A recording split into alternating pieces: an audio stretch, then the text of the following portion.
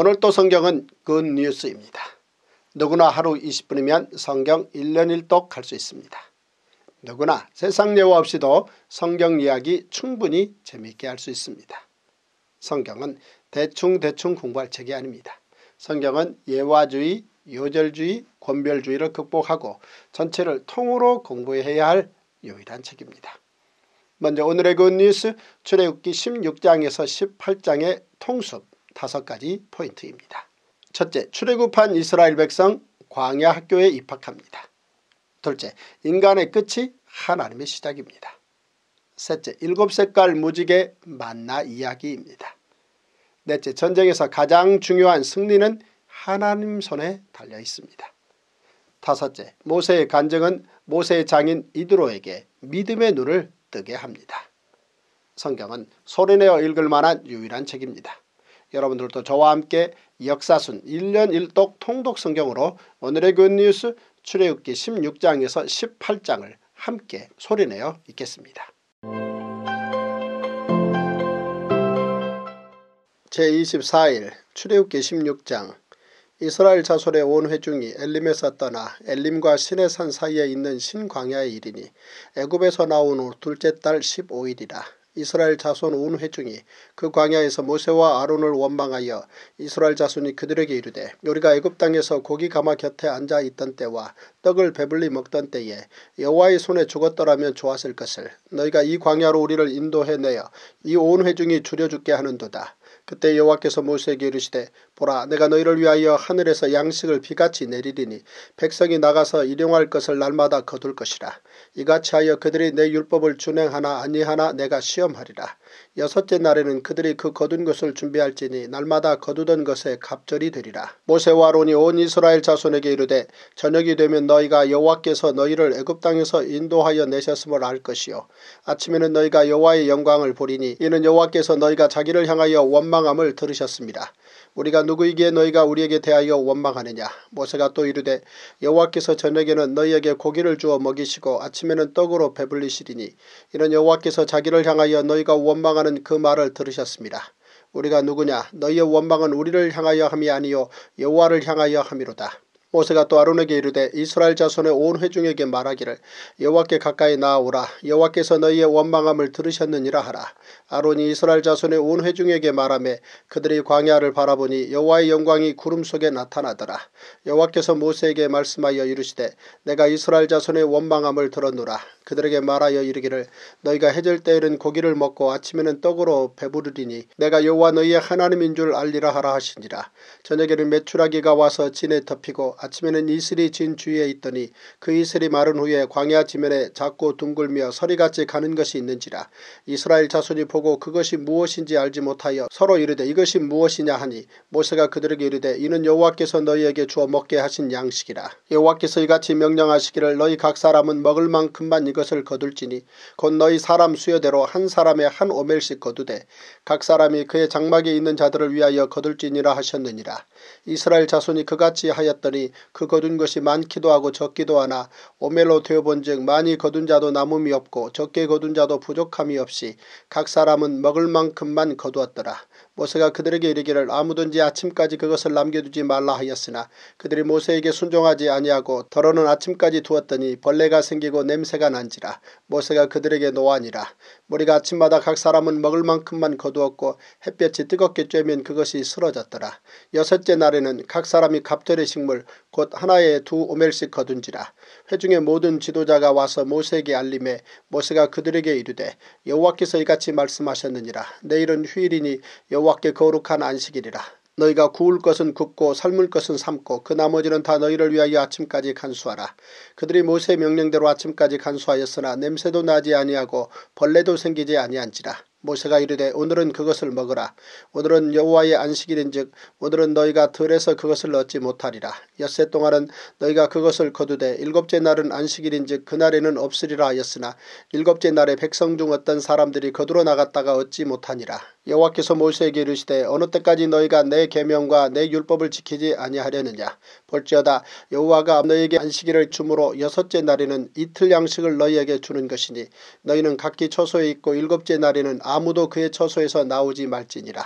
그러므로 백성이 일곱째 날에 안식하니라. 이스라엘 족속이 그 이름을 만나라 하였으며 가시같이 희고 맛은 꿀 섞은 과자 같았더라. 모세가 이르되 여호와께서 이같이 명령하시기를 이것을 오멜에 채워서 너희의 대대 후손을 위하여 간수하라. 이는 내가 너희를 애굽 땅에서 인도하여 낼 때에 광야에서 너희에게 먹인 양식을 그들에게 보이기 위함이니라 하셨다 하고 또 모세가 아론에게 이르되 항아리를 가져다가 그 속에 만나 한 오매를 담아 여호와 앞에 두어 너희 대대로 간수하라. 아론이 여호와께서 모세에게 명령하신 대로 그것을 증거판 앞에 두어 간수하게 하였고 사람이 사는 땅에 이르기까지 이스라엘 자손이 40년 동안 만나를 먹었으니 곧 가나안 땅 접경에 이르기까지 그들이 만나를 먹었더라. 오멜은 10분의 1 에바이더라. 출애굽기 17장 이스라엘 자손의 온 회중이 여호와의 명령대로 신광야에서 떠나 그 노정대로 행하여 리비딤의 장막을 쳤으나 백성이 마실 물이 없는지라. 백성이 모세와 다투어 이르되 우리에게 물을 주어 마시게 하라. 모세가 그들에게 이르되 너희가 어찌하여 나와 다투느냐 너희가 어찌하여 여호와를 시험하느냐 거기서 백성이 목이 말라 물을 찾음에 그들이 모세에게 대하여 원망하여 이르되 당신이 어찌하여 우리를 애굽에서 인도해 내어서 우리와 우리 자녀와 우리 가축이 목말라 죽게 하느냐? 모세가 여호와께 부르짖어 이르되 내가 이 백성에게 어떻게 하리이까? 그들이 조금 있으면 내게 돌을 던지겠나이다 여호와께서 모세에게 이르시되 백성 앞을 지나서 이스라엘 장로들을 데리고 나일강을 치던 내 지팡이를 손에 잡고 가라. 내가 호렙산에 있는 그 반석 위 거기서 내 앞에 서리니 너는 그 반석을 치라.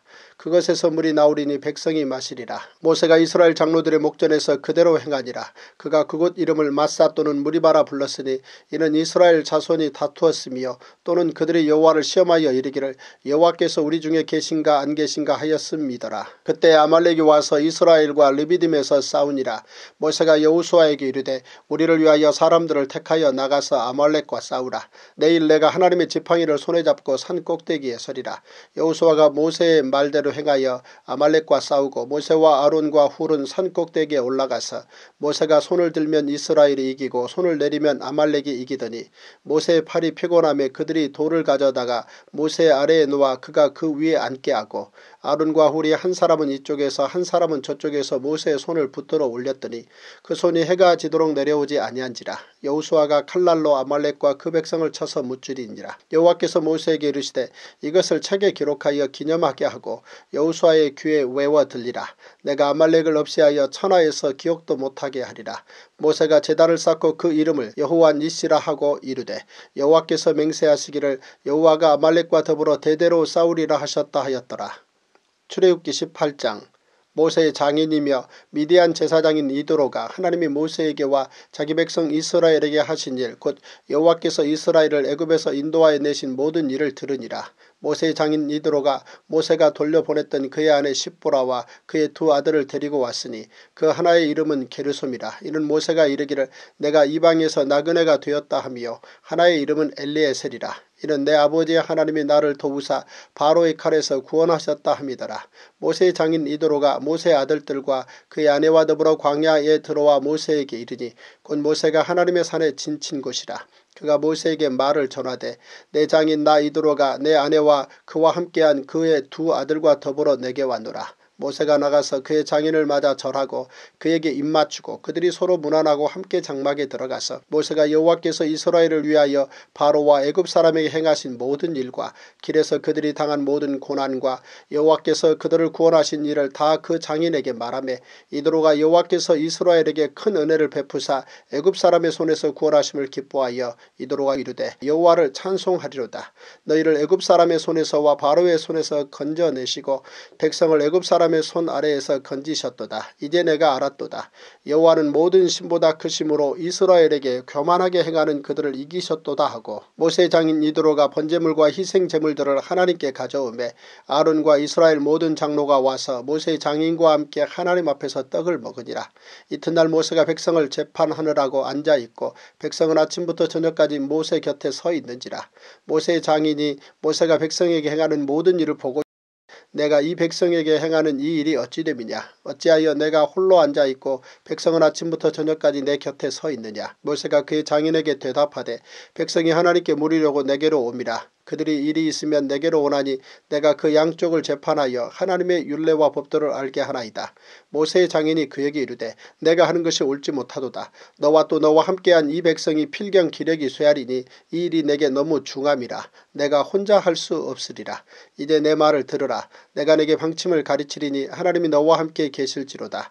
너는 하나님 앞에서 그 백성을 위하여 그 사건들을 하나님께 가져오며 그들에게 율례와 법도를 가르쳐서 마땅히 갈 길과 할 일을 그들에게 보이고 너는 또 온 백성 가운데서 능력 있는 사람들 곧 하나님을 두려워하며 진실하며 불의한 이익을 미워하는 자를 살펴서 백성 위에 세워 천부장과 백부장과 오십부장과 십부장을 삼아 그들이 때를 따라 백성을 재판하게 하라. 큰 일은 모두 내게 가져갈 것이요 작은 일은 모두 그들이 스스로 재판할 것이니 그리하면 그들이 너와 함께 담당할 것인즉 일이 내게 쉬우리라. 내가 만일 이 일을 하고 하나님께서도 내게 허락하시면 내가 이 일을 감당하고 이 모든 백성도 자기 곳으로 평안히 가리라. 이에 모세가 자기 장인의 말을 듣고 그 모든 말대로 하여 모세가 이스라엘 무리 중에서 능력 있는 사람들을 택하여 그들을 백성의 우두머리 곧 천부장과 백부장과 오십부장과 십부장을 삼음해 그들이 때를 따라 백성을 재판하되 어려운 일은 모세에게 가져오고 모든 작은 일은 스스로 재판하더라. 모세가 그의 장인을 보내니 그가 자기 땅으로 가니라. 오늘 우리는 출애굽기 16장에서 18장을 함께 읽었습니다. 하나님께서 이스라엘 백성들을 출애굽시키시고 광야 학교에 입학시키셔서 세계 최고의 교육 혜택을 베풀어 주셨습니다. 그것도 만나를 내려 주시면서 말입니다. 하나님께서는 만나를 통해서 제사장 나라의 안식일 훈련을 시키셨는데 이 훈련이 제대로 되어야 안식년 희년까지 지킬 수 있기 때문입니다. 이는 제사장 나라 거룩한 백성이 되는 가장 중요한 교육이었습니다. 모든 성경은 하나님의 감동으로 된 것으로 교훈과 책망과 바르게함과 의로 교육하기에 유익합니다. 성경 한 권이면 충분합니다. 그러므로 오늘도 세상 뉴스를 넘어 Good News 성경으로 행복하시고 Good News 성경으로 승리하시는 멋진 하루 되십시오. 와우!